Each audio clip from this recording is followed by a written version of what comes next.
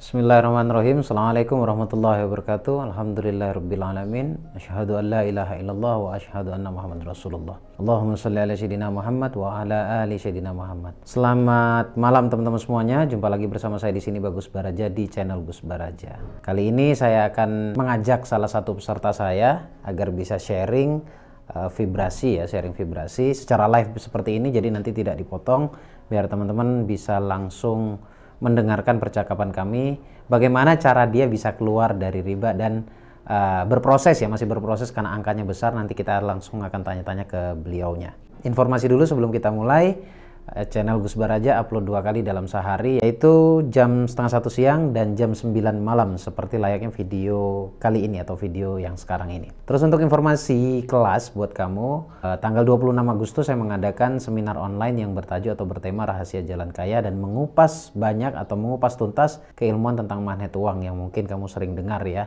tetapi bingung bagaimana cara mempraktekannya. Dan di seminar yang saya adakan saya akan kupas semuanya, bahkan kamu juga akan mendapatkan terapinya. Itu untuk yang online. Dan untuk yang offline saya adakan di Surabaya pada tanggal 15 Oktober dan saya berlakukan infak spesial ya buat kamu 20 pendaftar pertama dan maksimal tanggal 30 September. Untuk informasi jelasnya sekarang uh, ada pamflet yang sedang muncul di layar monitor kamu jadi kamu bisa baca langsung hubungi nomor WA yang tertera di layar monitor kamu atau di pamflet tersebut. Dan untuk Jakartanya pada tanggal 10 Desember nanti juga akan diupdate oleh admin setelah kamu menghubungi nomor yang tertera di layar monitor kamu. Kali ini saya akan mengajak atau menelpon secara langsung video call uh, dengan salah satu peserta saya namanya Bu Nasri. Ini baru sempat baru ada waktu karena saking sibuknya beliau dan kita akan telepon langsung beliau. Nanti dia akan cerita bagaimana caranya dia meskipun saat ini ber, berproses ya untuk bisa lepas dari hutang terutama. Saya juga nggak tahu jelasnya nanti kita akan tanya-tanya ke beliau. Jadi saya langsung telepon saja beliau.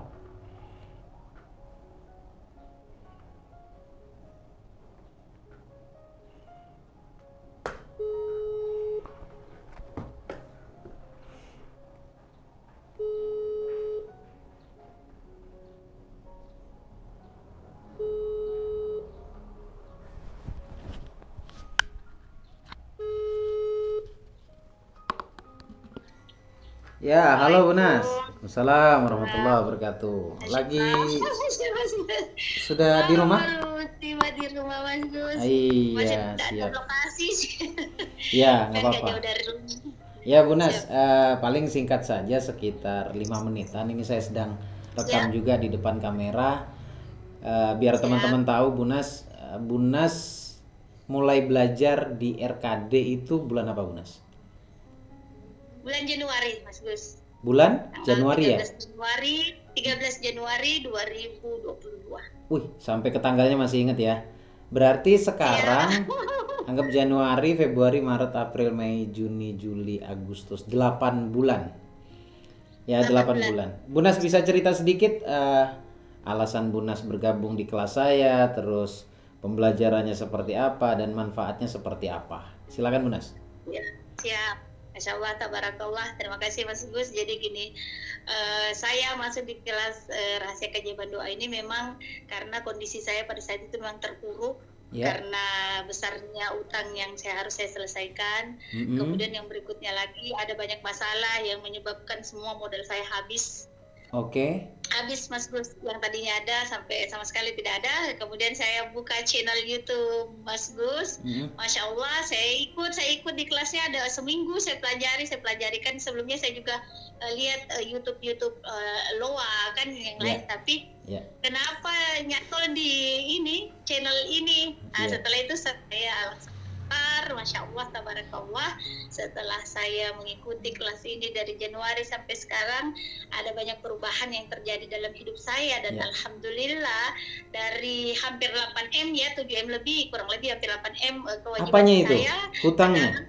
Kewajiban yang harus kewajibannya itu itu, itu ada ada ribanya konsepnya riba ya riba mas okay, okay. jadi kami Terus. dari uh, pengusaha kan kita tidak menutup uh, uh, memungkiri bahwa yeah. pengusaha itu uh, pasti erat kaitannya dengan perbankan yeah, kemudian okay. uh, kalau toh ada perbankan ada lagi yang uh, uang bunga dan lain sebagainya. Hmm. Uh, jadi saya setelah masuk di kelas ini, di kelas ini diajarkan bagaimana caranya kita menyerahkan semuanya kepada Allah. Yeah. Uh, uh, semua kita upayakan kita terlepas dari riba yeah. dan alhamdulillah baru niat saja saya Mas Gus, masya Allah Allah sudah memberikan banyak keajaiban dalam hidup saya dan yeah. alhamdulillah hampir 4 miliar kewajiban saya sudah terselesaikan sampai saat ini selama saya bergabung di kelas ini. Selama delapan bulan.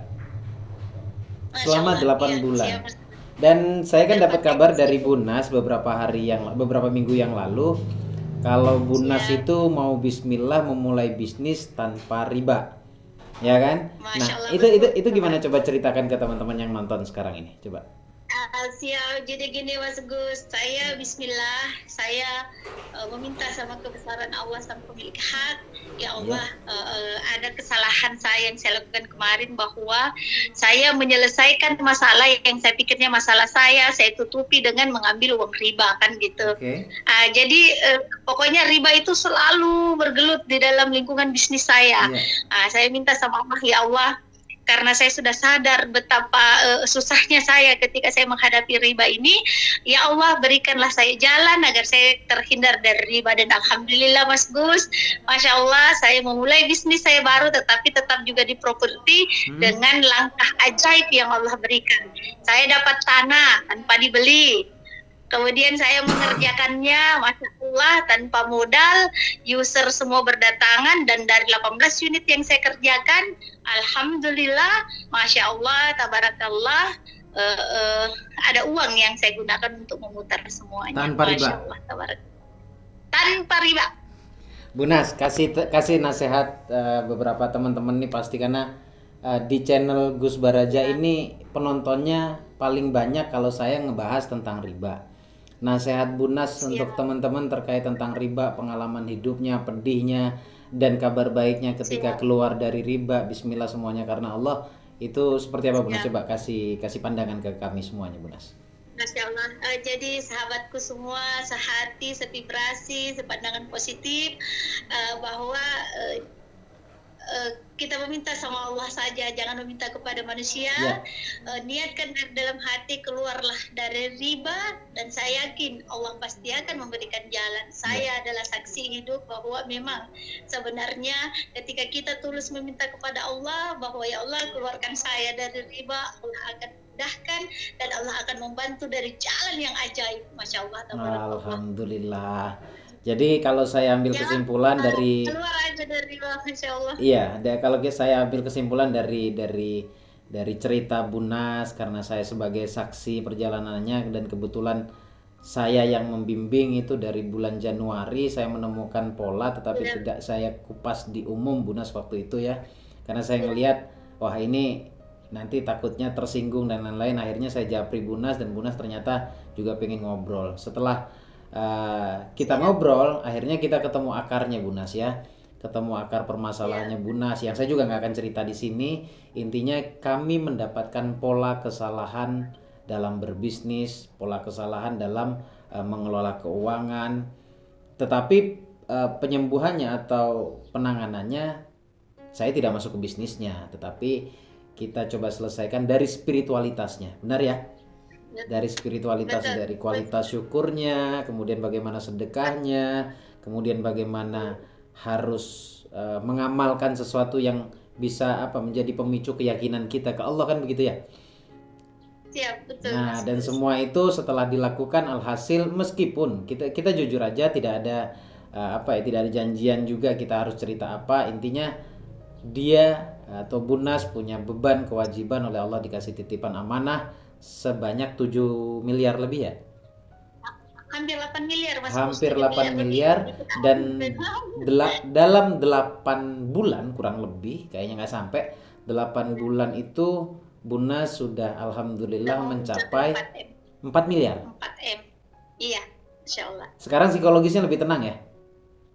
Tenang sekali Mas Gus. Jadi hati sekarang ditenangkan walaupun masih ada kewajiban yeah. tapi saya tidak terlalu memikirkannya lagi karena saya yeah. ya Allah berikan saya kekuatan berikan saya pekerjaan insya Allah step by step saya akan selesaikan semua atas izin Allah yeah. yang maha baik lagi maha kuasa atas segala kuasa Jadi Luar saya biasa. jadi saya berpikir jadi saya berpikir begini Mas Gus. Eh, teman-teman semua eh, jangan putus asa. Iya. Jangan putus asa, tetap saja semangat. Yang jelas eh, tetap berpikir positif bagi teman-teman yang mempunyai luka batin pada masa lalu, entah itu ditipu ataukah salah pada manajemen keuangan yang menyebabkan adanya kewajiban. Ya. Eh, jadi teman bersihkan luka batinnya, pelongkan semua, lupakan aja masa lalu, jadikan saja itu pelajaran, pandangan jauh ke depan bahwa apa yang saya lakukan untuk amal jariah saya ketika saya menghadap ke sang pemilik hak. Jadi kalau kalau kita tarik kesimpulan lebih kepada pembenahan diri berarti Bu Nas ya.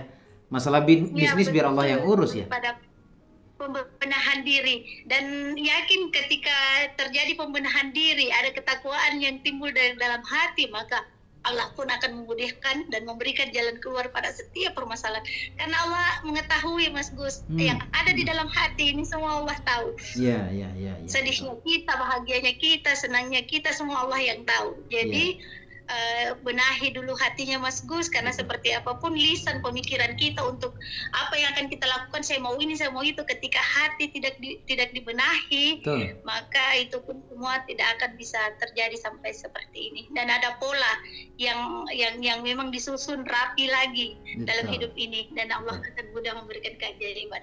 Betul. Terima kasih Bu Nas karena Ya, Iya, karena waktu kita pendek, next time, ya next time kita ngobrol-ngobrol lagi. Tapi insya Allah teman-teman Siap. senang nih, senang nih dengerin ini, pasti senang teman-teman nih. Jadi uh, saya mengajak Biasa, teman-teman untuk ikut bergabung juga seperti layaknya Bunas, memulai dari dari titik terendah. Insya Allah ada harapan jika Allah berke- berkehendakan begitu Bunas ya.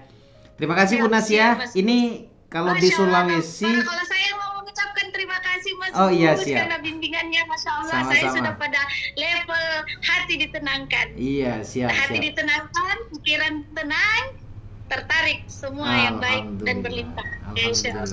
Siap, siap. Siap. Ini ngomong-ngomong di Sulawesi sudah jam 6 ya sekarang ya? Sudah jam Sudah 6. mau masuk maghrib. Sudah mau masuk sudah maghrib. takdim. Saya terima kasih. Siap. Mohon maaf mengganggu waktunya. Tapi insya Allah manfaat ya. Siap. Makasih, makasih. Assalamualaikum. Siap. Waalaikumsalam warahmatullahi wabarakatuh. Ya, teman-teman, eh, tadi kita langsung secara live. Saya nggak edit videonya ya. Saya langsung telepon, kemudian langsung eh, saya record. Teman-teman bisa menyaksikan dan mendengarkan secara langsung seperti apa pengalaman hidupnya terkait bagaimana cara dia lepas dari hutang dulu. Kemudian ternyata setelah di cross check, setelah diobrolin bersama saya ternyata hutangnya riba. Dan eh, saya beritahu apa adanya, saya kasih tahu bahwa begitu kejamnya riba itu menggerus uh, kondisi psikisnya kita, psikologisnya kita dan menggerus juga kesehatan kita sebenarnya. Dan alhamdulillah setelah perjalanan 8 bulan ya, tetapi itu step by step. Setelah belajar Allah berikan keajaiban berapa ratus juta dari jalan yang dulu katanya ada orang hutang selama 3 4 tahun lupa tidak membayar setelah uh, belajar ilmunya pada akhirnya tiba-tiba yang punya hutang bayar ke dia gitu dengan tiba-tiba loh ya. Jadi sebenarnya banyak banget cerita keajaiban yang tidak akan cukup kalau kita akan sampaikan dalam satu video. Oke teman-teman, semoga bermanfaat. Sekali lagi saya mengajak teman-teman semuanya untuk mengambil sikap untuk perbaikan hidup di masa yang akan datang atau masa depan kamu ya. Silahkan ikuti seminar-seminar yang saya adakan secara bertahap. Lebih-lebih ke depan saya akan buat lagi setelah eksklusif ini saya juga akan buat satu kelas edukasi selama satu tahun seperti layaknya Bunas tadi dan insya Allah akan lebih bermanfaat lagi untuk kamu semuanya. Terima kasih teman-teman untuk mendaftarannya langsung hubungi nomor uh, admin ada di deskripsi atau di layar monitor secara slide atau di bawah ini juga ada. Tinggal kamu hubungi langsung nanti akan dipandu di sana. Terima kasih. Saya Bagus Baraja Al Fakir Allah Assalamualaikum warahmatullahi wabarakatuh. Senang bisa berbagi. Allahumma sholli ala Muhammad.